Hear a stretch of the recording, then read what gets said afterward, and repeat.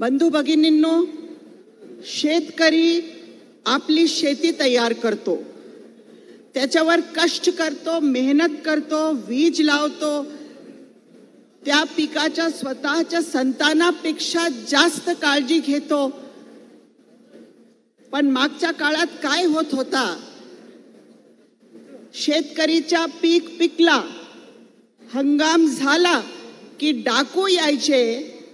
आणि सर्व माल लुटून न्यायचे.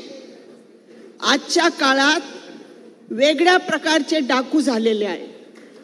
आजच्या काळात थेट माणसालाच नेऊन घेण्याचं काम या डाकूंचा झालेला आहे.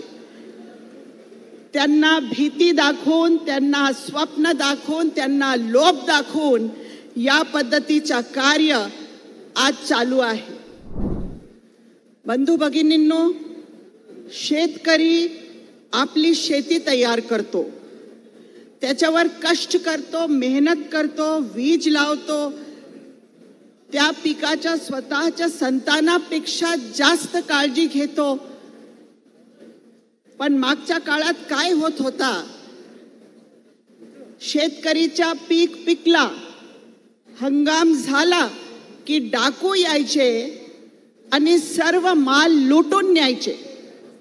आजच्या काळात वेगळ्या प्रकारचे डाकू झालेले आहे आजच्या काळात थेट माणसालाच नेऊन घेण्याचं काम या डाकूंचा झालेलं आहे.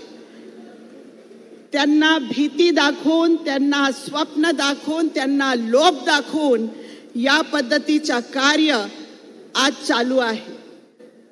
आता कोणीही कितीही डाका डालला तर काय फायदा नाही कितीही लूट केलं तर काय होणार नाही कारण आमचा जे नेता आहे ते माणसं पेरणारा नेता आहे. हे माणसाच्या पीक उगवतो हे माणसाच्या फळ देणारा वृक्ष करतो.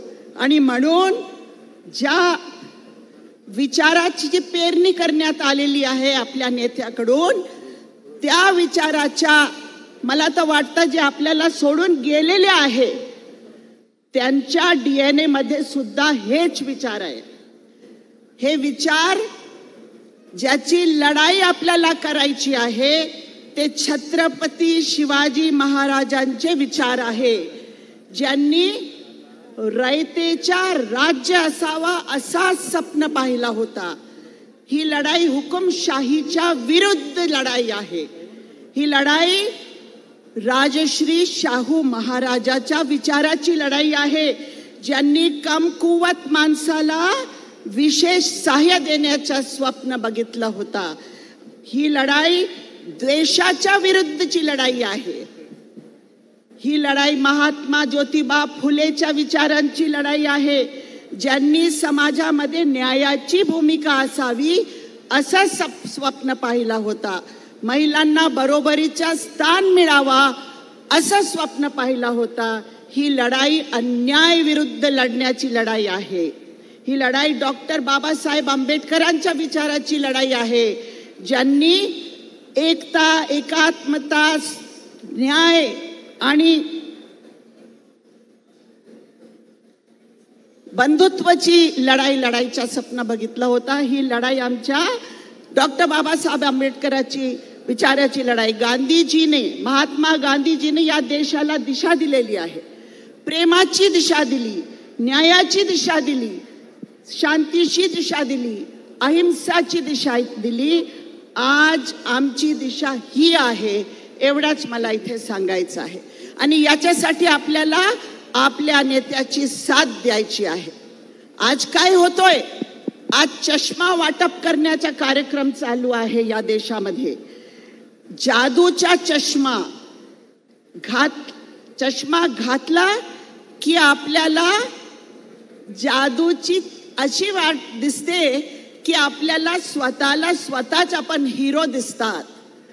समोरच्या लोकांमध्ये दोष दिसतात पण स्वतःचे खालचे होणारे दोष दिसत नाहीये. फक्त विरोधकामध्ये होणारा भ्रष्टाचार दिसतात. स्वतःच्या कडच्या भ्रष्टाचार दिसत नाहीये. बंधू भगिनींनो कॅटच्या रिपोर्ट प्रमाणे या देशामध्ये अनेक डिपार्टमेंट्समध्ये भ्रष्टाचार होत आहे. पण हे भ्रष्टाचार कोणाला दिसत नाहीये. एकच विषय सांगते आणि थांबते की समोर पहलवान बसलेले आहे त्यांनी उठून साहेबांना सलाम केलं. पण आज काय झालं? जागतिक स्तरावर आपल्याला रेसलिंग फेडरेशन ऑफ इंडियाने यांना जागतिक संस्थांनी सस्पेंड केलेला आहे. कशासाठी सस्पेंड केला?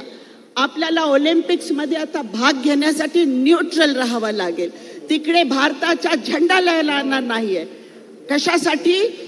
की महिलांच्या शोषण करणारा बीजेपीचा खासदार त्यांना वाचवण्याच्यासाठी जे भाजप सरकार प्रयत्नशील होतो त्याच्यासाठी इलेक्शन घेऊ शक शकत नाही होता. आणि त्याच्यामुळे आज भारताची नामुष्की झालेली आहे. कारण ब्रिजभूषण शरण सिंगला महिलांच्या शोषण कुठल्या महिलांच्या? कुठल्या महिलांच्या? ज्या देशाला बहुमान आणणाऱ्या महिलांना ते शोषण करत होता. त्यांना वाचवण्याचं काम दुसऱ्या बाजूला हे सांगा बेटी बचाव बेटी पढाव. मी सर्व महिलांना सांगते की ह्या गोष्टीला खपून घ्यायचं नाहीये. साहेबांना साथ द्यायची आहे आणि आपल्याला सर्वांना स्वाभिमानची लढाई लढायची आहे. एवढाच सांगते आणि आपली रजा घेते. यानंतर